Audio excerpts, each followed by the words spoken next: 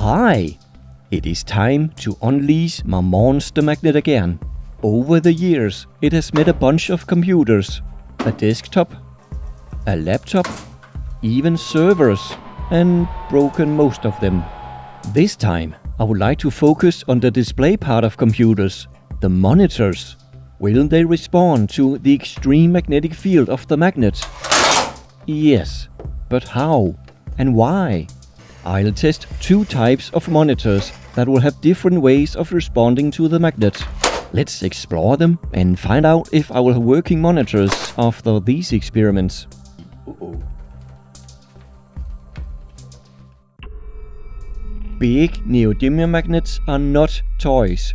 Their bone-crushing power demands responsible attention at all times. And don't mess with high-voltage electronics. Let's start from the beginning with the first monitor technology, the cathode ray tubes, CRTs, of my childhood. These were notorious for being sensitive to a magnetic field. Loudspeakers had to have their magnets shielded to be near a CRT monitor or TV.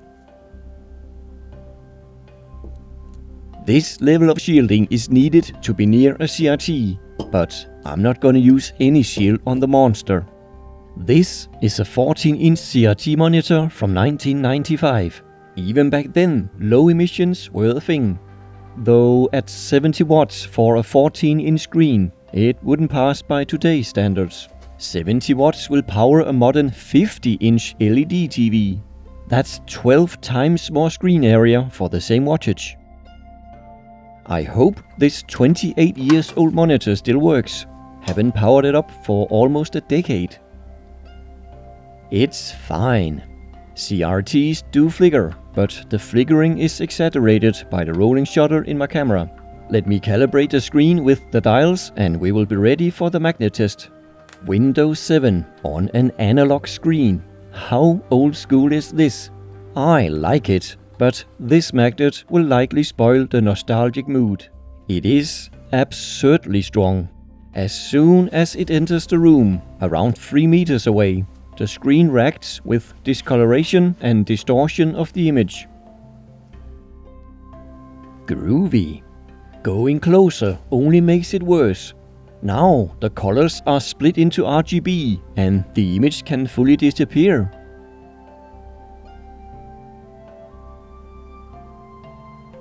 This is with the north pole of the magnet facing the monitor.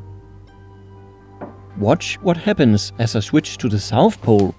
South Pole. The image moves up instead of down.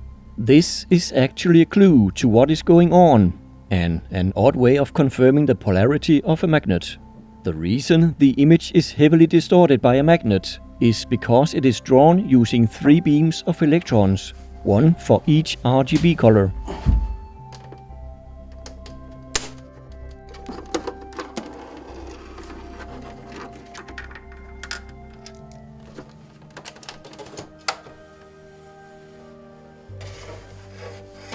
Inside the monitor are three electron emitters at the back of the tube and some electromagnets, coils, to focus the beams and guide them horizontally and vertically. Electrons have a negative electric charge and will feel a force, be deflected, when moving through a magnetic field. By continuously adjusting the strength and polarity of the electromagnets, the electrons can be guided to draw the image on a phosphor layer at the front of the monitor. When I add a strong external magnet, the electrons are simply moved by the magnetic field from that one too. The permanent magnet deflects and defocuses the electron beams. You can predict the direction of the deflection by using the hand sign of a scientist, Fleming's left hand rule. Here's an example with a magnet's north pole facing the left side of the monitor. Using your left hand, point your index finger in the direction of the magnetic field. Conventionally, this direction is from north to south, out of the North Pole and into the South Pole. So just point your index finger in the direction the magnet's North Pole is pointing.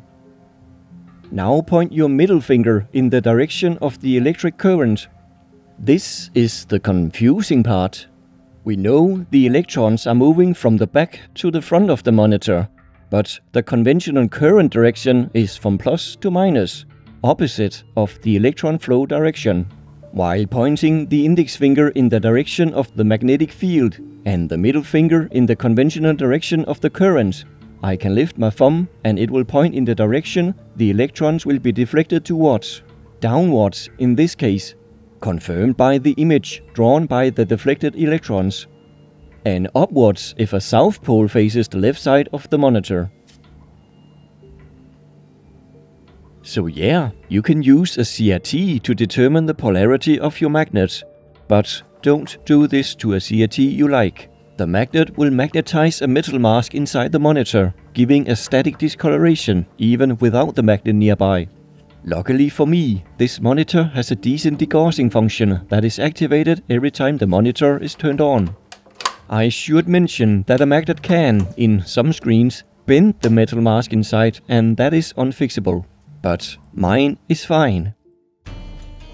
Let's go more modern with a flat screen. Well, I'm not gonna waste my most modern monitors. I use them. This is a 22-inch LCD screen from 2009. Oddly enough, wattage is not mentioned on its label, but it uses around 40 watts. Big improvement over the CRT, though it still sucks compared to modern standards. How will this one react to the monster magnet? No distortions at distance. Makes sense, since there are no electron beams to deflect. Going closer. Okay, the image is just fine except for some waves in the liquid crystals from the physical bending of the screen, not from the magnetic field. Next, I will try on the front of the monitor, once I convince them to leave each other alone. Hmm, that will end in a similar result. Maybe testing on the right side will make a difference. Those creaks as the monitor tilts are scary in this situation. Uh-oh. The image is gone. Did I already break the monitor? Or will the image return once the magnet stops hugging the monitor in a magnetic field?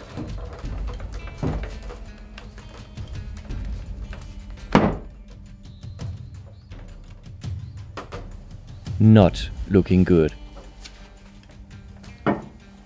Maybe a power cycle will fix it. Yes, it's ready for further testing. Thumbs up for its sturdiness. Now I'm pretty sure I saw the screen dimming before it turned off. I will try with a more subtle, yet still very powerful magnet. Alright, a whole lot of nothing happens on the side. Going to the backside.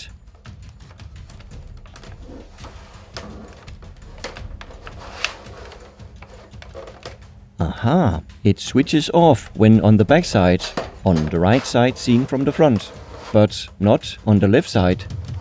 Okay, makes me wonder at what distance from the back the monster will switch it off. Don't worry about the metal ruler, it is made of aluminium. I have a video on how aluminium reacts to a magnet. It does react, but not in a significant way in this setup. Here we go.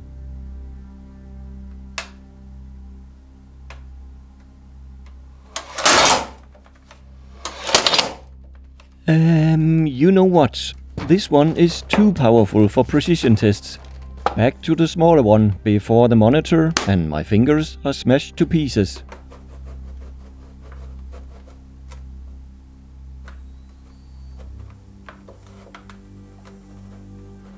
Yep, there is some dimming of the screen before it completely shuts off.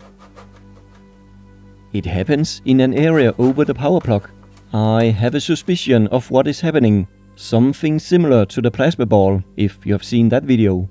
After a short but important message, I will open the monitor to see what's hiding in this area. Stay tuned.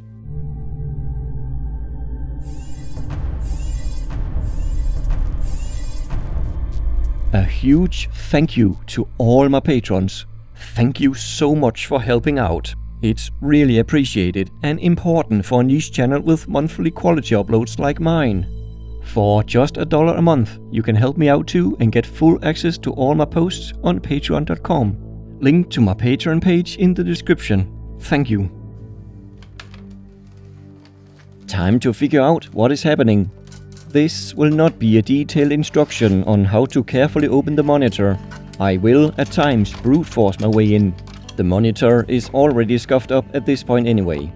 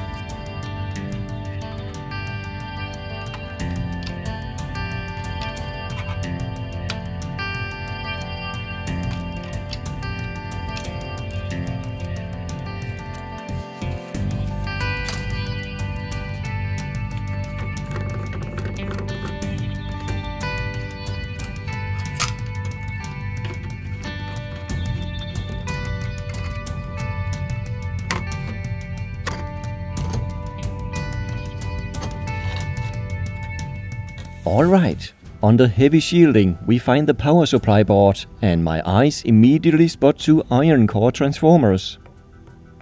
A 900 volts booster transformer for driving the screen's backlighting and one for driving the low voltage electronics. They don't like a magnet.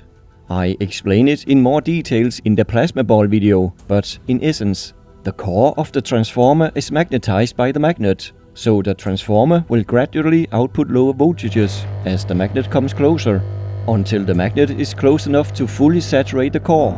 Then the transformer's coils can't transform at all. This old monitor uses four cold cathode fluorescent lamps as backlighting.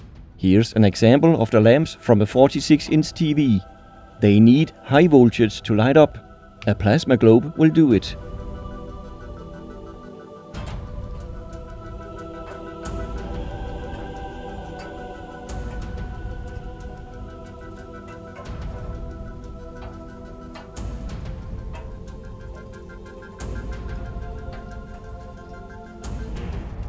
Here's my guess on what happens inside the monitor. As the magnet approaches, the transformers output lower and lower voltages, dimming the lamps. But before they are fully dimmed, they are shut off and stays off even after the magnet is removed, when the transformers should work again. It looks like some of the electronics detect an error in the high voltage circuits and shuts it off. Good idea, since an error in a high voltage power supply, like electrical arcing, could be a fire hazard.